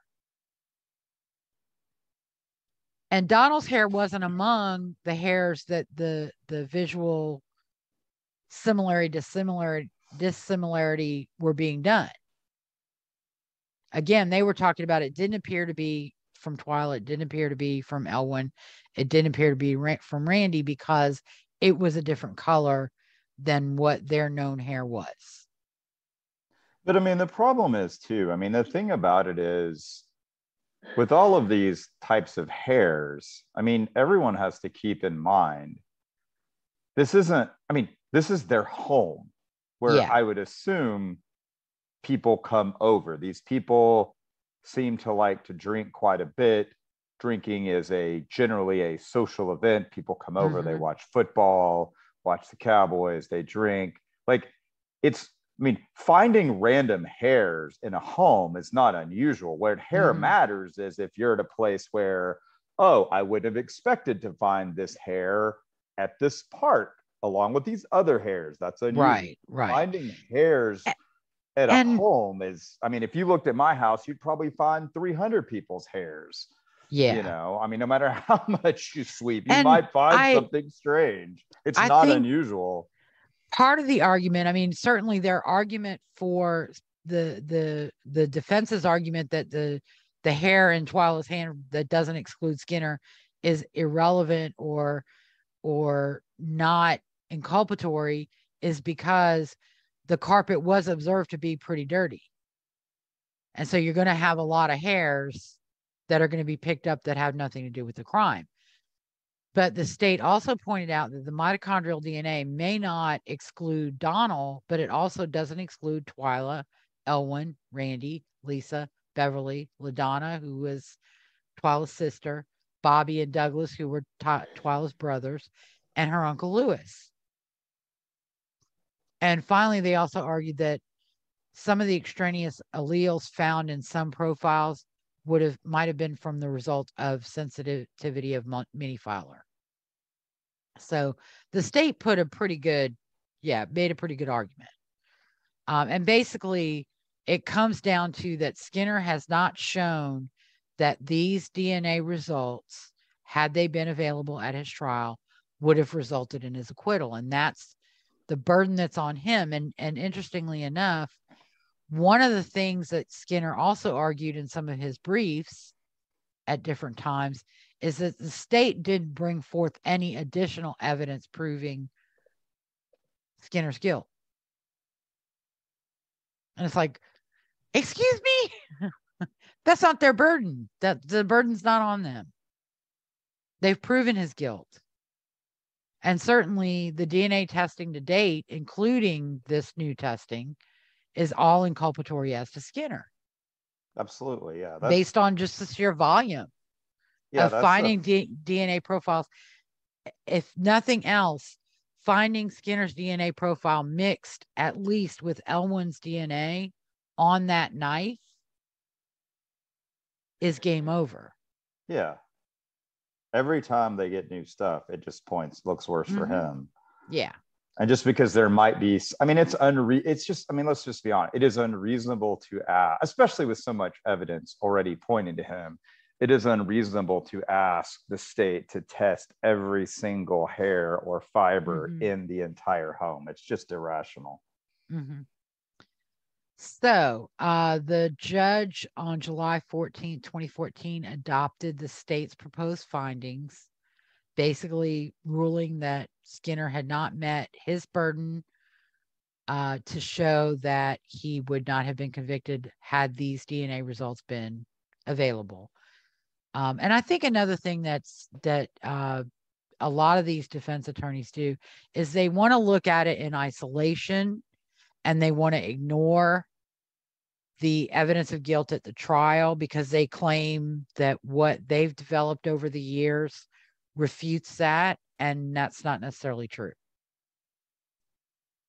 And so uh, his attorney douglas robinson did put out a statement that basically argued skinner's dna was found as a result of innocent contact the mitochondrial dna implicates Donald, and that uh, they linked the lost jacket to Donald at the hearings, and the judge just ignored all that and was applying the law wrong. Skinner filed a notice of appeal on August 11, 2014. The record was lodged on September 12, 2014. Uh, Skinner filed an opening, opening brief in November of 2014. The state filed its brief on January 26, 2015. Uh, the appellate court issued an order on March 18, 2015, wanting the parties to address at oral argument whether the case was a result, the appeal arose from a properly filed chapter chapter 64 motion. Um, and then the state also the TCCA also sought on March 20th, 2015, to inspect uh, States Exhibit 31 and Defendants Exhibits 30, 32, 31, and 38 from the hearing uh, in their review of the case. There was, uh, on June 30th, 2015, the DPS sent letters out to various defendants, counsel, and courts regarding potential errors in DNA results reported uh, by the DPS due to errors identified in the statistical databases relied on by DPS uh, and by the manner in which DPS analyzed, analyzed DNA mixtures. On February 19, 2016, Skinner's attorneys filed an advisory with the Court of Criminal Appeals because Skinner was now seeking the DPS uh, to do perform reanalysis of the DNA in his case from 2012. On March 9th, 2016, the Court of Criminal Appeals issued an opinion that found that jurisdiction had been established. They abated the appeal and uh, remanded the case for further proceedings at the trial court due to the need to recalculate DNA mixture results and they ordered that the issues be resolved by the trial court within 90 days from the date of that order. The parties filed a joint motion to extend time in May, seeking a 180 day extension for DPS to complete the necessary training and implementation of software that was needed to conduct the recalculations of mixtures in Skinner's case. On June 8, 2016, the, the uh, Court of Criminal Appeals issued an order instructing the trial court to determine whether the bulk of the recalculations had been completed by previously imposed deadline, as the parties had stated in their motion had been done or would be done, to determine what other laboratories and DPS laboratories in Texas or laboratories under contract with DPS could process the results that utilize MiniFiler. Because apparently there was a, a an STR mix program, but it could not analyze MiniFiler testing results. So they were getting software and getting training and um, I guess certification on so- that software to perform the re- reanalysis. And they also wanted the trial court to determine uh, if other laboratories could process the test results at issue within a reasonable time, and if not, uh, why they could not timely process results. Uh, the tri- trial court was also instructed to resolve the issues within 30 days of the date of that order. and the court said no further extensions of time would be entertained. The record goes silent from that point. so I'm guessing that there was a supplemental record filed, and I'm guessing that basically the DPS was doing what it could, the best it could, and the Court of Criminal Appeals just had to accept that. Because the next thing is on June 15th, 2017, a year later, uh, the parties filed a joint advisory that DPS had issued its report on May 19, 2017, completing the reanalysis of outstanding samples and requesting 180 days to December 12, 2017 to set a hearing date in the trial court. A status report was filed on October 25th, 2017 at TCCA, but I don't have that report, so I don't know exactly what that status was. Um, there was a hearing held on January 9th, 2018 at the District Court, 31st District Court in Gray County. A joint advisory was filed on January 23rd, 2018. Um, the parties basically, the parties were going to file proposed findings 30 days after receipt of the transcript from the hearing. On April 2nd, 2018, the state filed its notice of amended findings of fact and conclusions of law. Uh, basically, their argument was that Skinner had not shown a reasonable probability that he would not have been convicted had the DNA testing results been available at the time of his 1995 capital murder trial. On the same date, Skinner's attorneys filed their proposed findings, and basically they argued the DNA results were exculpatory, that there was unknown DNA and empty DNA that pointed to Donald. Although that's not true because they don't have D- Donald's DNA to compare to the unknown DNA. That uh, the instances of Skinner's DNA profile being found were all result of innocent contact unrelated to the murders. For example, they argued that, well, he used to make sandwiches that with that knife all the time. So that's where his DNA came from. And they argued that a reasonable juror would not convict with the DNA results now available. And this is another thing. They argued that the DNA results plus the other evidence they've developed creates reasonable doubt or would create reasonable doubt in the mind of at least one juror, and therefore he's entitled to a new trial. Um, the court adopted the state's amended findings of fact and conclusions of law on May 8, 2018. Um, somehow, the the district court must have been primed and ready because they were able to lodge the record at the Court of Criminal Appeals on May 9th, 2018. Uh, the parties filed a joint motion to file supplemental briefs on May 10th uh, to assist the court, and that motion was granted. Um, basically, Skinner would be uh, given until June, June 20th, 2018, and the state would be given until June 20th, 2018 to file supplemental briefs. Another supplemental record was lodged on May 11, 2018. Uh, and Skinner filed his supplemental brief and basically argued that while the 2016 2017 reanalysis had no material impact on the original results, Skinner was entitled to a favorable finding based on the 2012 and 2013 testing results uh, including the mitochondrial DNA from hairs that inculpates Donald, but it doesn't, it just doesn't exclude him among many others.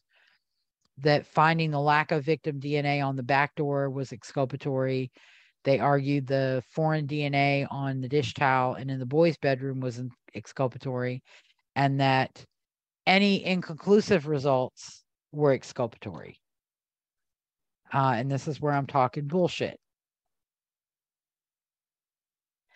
Uh, the state filed its supplemental uh, brief on July 20th. and basically they just argue that Skinner's claims about exculpatory results are delusional. Um, the neither the original nor the reanalyzed chapter 64 results make it reasonable re- reasonably probable that Skinner would not have been convicted had those results been available at trial. And they argue visually dissimilar hairs do not demonstrate a reasonable probability that Skinner would not have been convicted. Lack of victim DNA on the back door is not exculpatory. Foreign DNA on the dish towel does not prove Skinner would not have been convicted. Foreign DNA in the boy's bedroom is not exculpatory uh, because it was from a carpet that that could have been the person who installed the carpet's DNA. It could have been the landlord's DNA if he, you know, did anything with the carpet around the time of the murders. Uh, absence of Skinner's DNA on the blanket covering Randy would not alter the outcome of the trial, and the scarcity of Skinner's DNA in other areas does not prove non conviction. As that's basically what Skinner's arguing.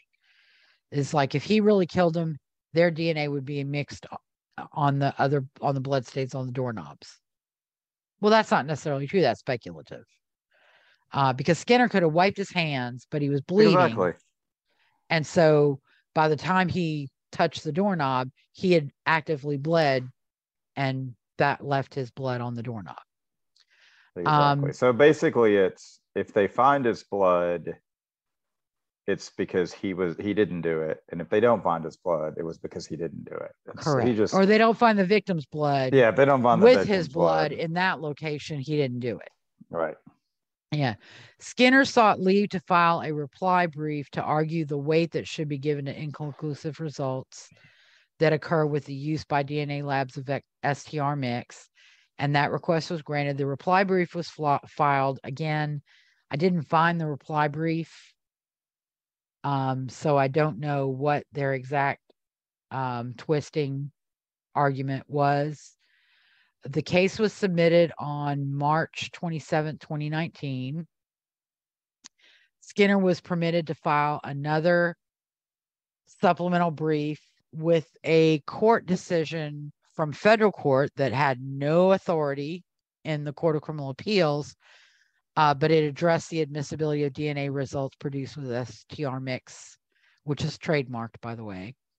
Um, and then another post uh oh no sorry um so that post submission brief was filed on november 5th 2019 and then nearly three whole years passed while the court of criminal appeals considered skinner's appeal of the denial of relief as a result of DNA test results developed between 2012 and 2013, and the reanalysis of those results that occurred between 2016 and 2017. So, if Skinner's attorneys ever use the terms rush to judgment in connection with this case, I will personally track them down and smack the living crap out of them.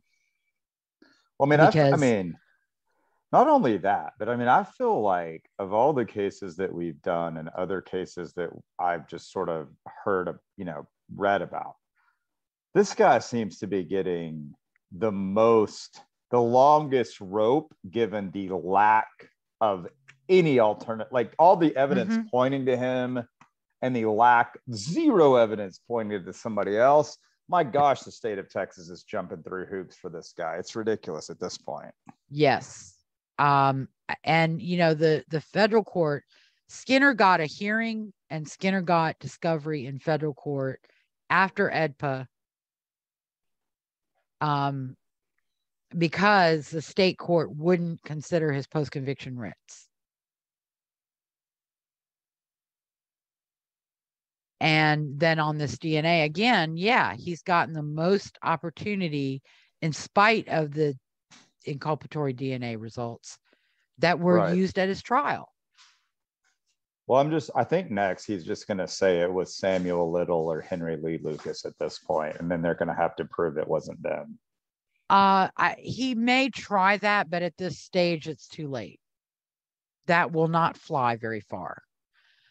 Um, so the Court of Criminal Appeals on October 5th, 2022, finally issued its opinion on the DNA, the, the denial of, of relief or denial of a new trial based on DNA results. And they held that in a capital murder case, the appellate court found no evidence of the convicting court misapplying Texas Code of Criminal Procedure, Article 64.04. Um, they agreed with the convicting court's conclusion that the defendant failed to satisfy his burden because he failed to show that it was reasonably probable that he would not have been convicted had the DNA test results been available during his capital murder trial. Among other things, defendant's DNA profile appeared on all eight samples taken from the bloody knife, but no unidentified foreign profile was found on that item. And defendant could not be excluded as a possible donor of DNA in eight more locations that were established at trial. Yeah, so every new affirmed, test just points to him, makes mm-hmm. him look more and more guilty. Yeah.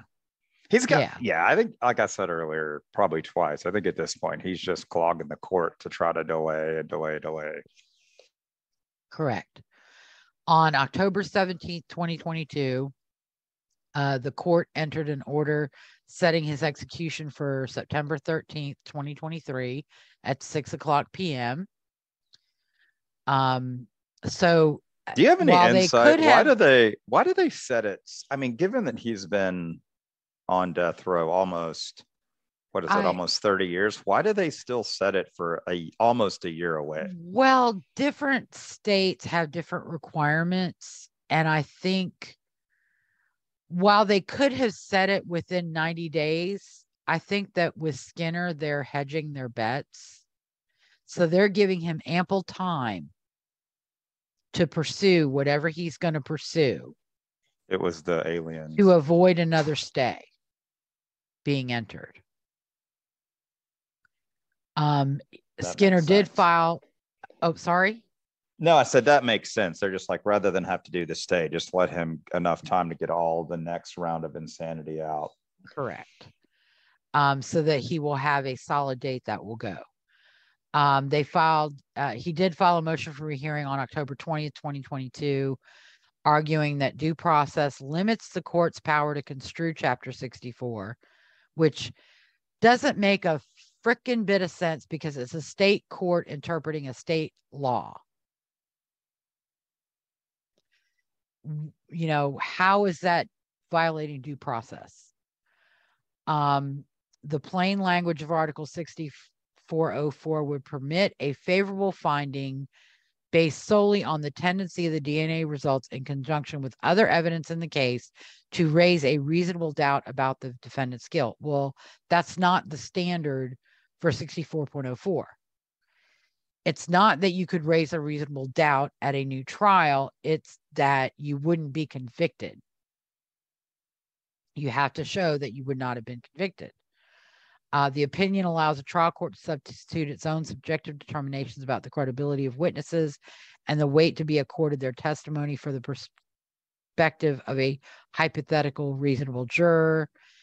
In upholding the Article 64.0 finding, the Court of Criminal Appeals stamped with approval the convicting court's failure to consider the collective impact of the DNA test results and the court has construed Article 64.04 to foreclose a favorable finding for the defendant unless DNA test results clearly point to his innocence, an approach that violates due process because it is impossible to square with the language of the statute. So I think what they're doing is they're setting up a federal challenge. They're they're setting up a 1983 claim now. Um, so future actions, because no action has been taken on the motion for rehearing. Potential future action is a successive writ based on actual innocence to federal court, which is actually unlikely to succeed. Um, he did file a successive writ with the Fifth Circuit alleging actual innocence and he withdrew it um, back in 2011, I believe. Uh, so well, it's unlikely again, that think, that's going to be successful because if yeah. it was, he should have pursued it then. And this is a good time just to remind people that might get lost in the details to just go back to the basics of he fled the scene. He did not call the police. He stopped his ex from calling the police. He said he might have kicked her to death to his ex, and he just continued to change his story. So it's not like, you know, there's not yeah. a lot of reasons outside of the overwhelming DNA against him to believe that he is guilty. Right.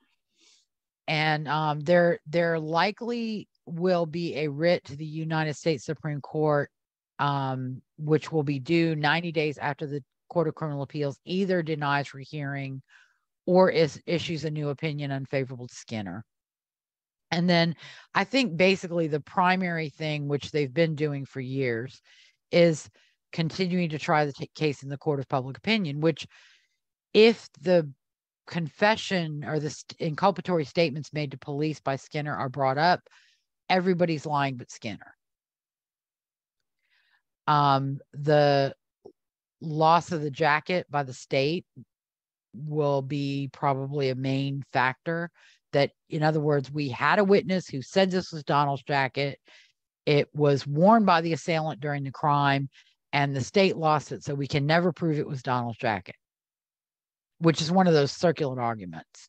And again, at only five feet tall or five foot six, because I think there is a Texas record that puts him at five foot six, he could not have worn a man's 44 large jacket. Yeah, exactly. Any I mean, more than Skinner That's probably a six six foot, a six foot at least. Which Randy, Randy would have probably been a men's large. Elwin was tall but very thin, so he would have probably been a men's medium. Right. Um. So yeah, that jacket probably belonged to one of the boys and was just present when when Skinner murdered Twila. Um, they also falsely claimed the DNA results in inculpating Skinner were insignificant, and the inconclusive partial profiles and empty mtDNA results were inculpatory as Donnell. What's their explanation for his fingerprints in the blood?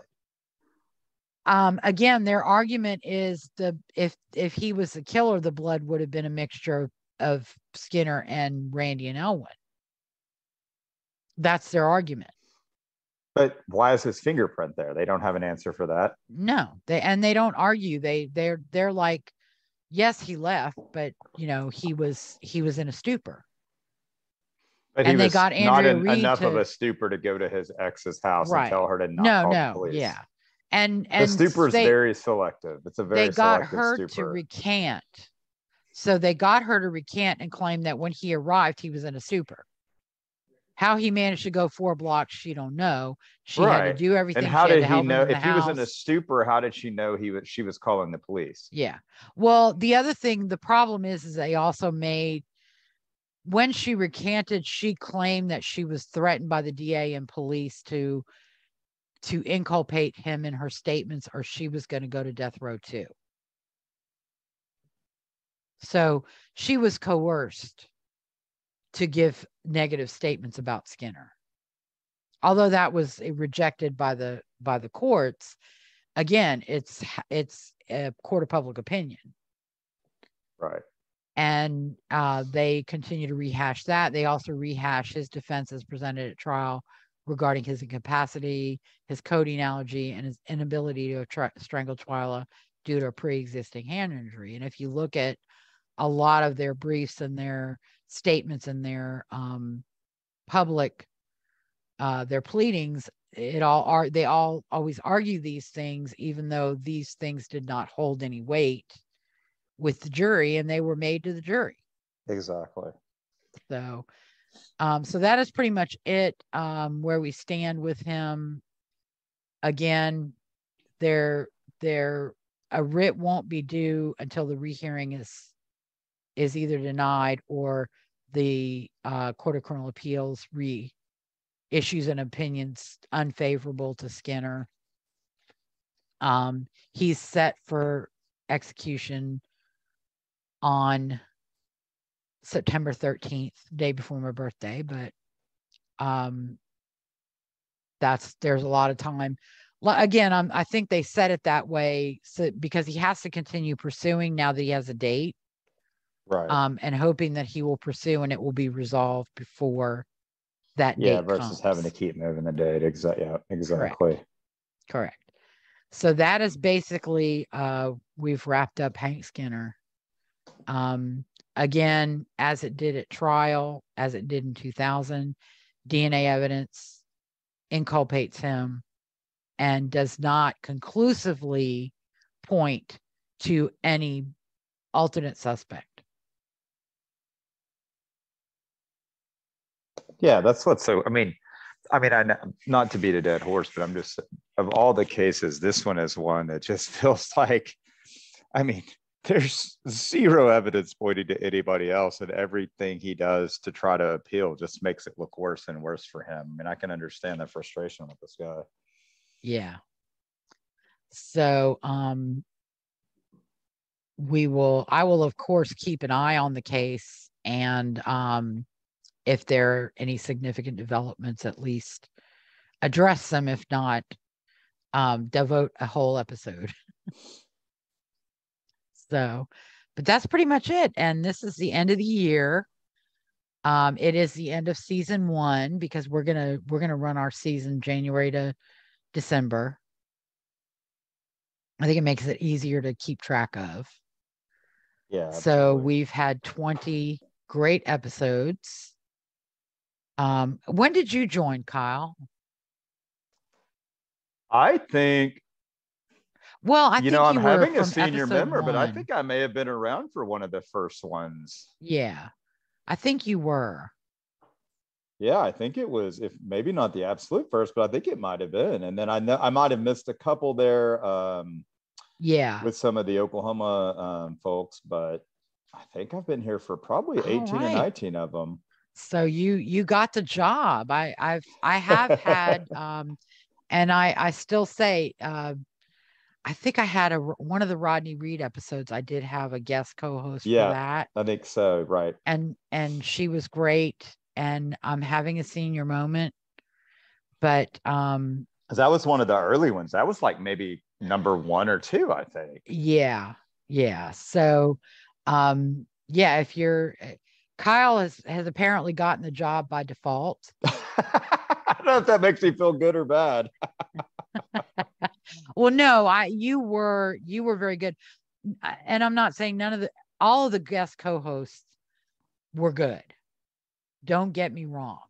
I think kyle has gotten the job by default because he's been available and he's been on the zoom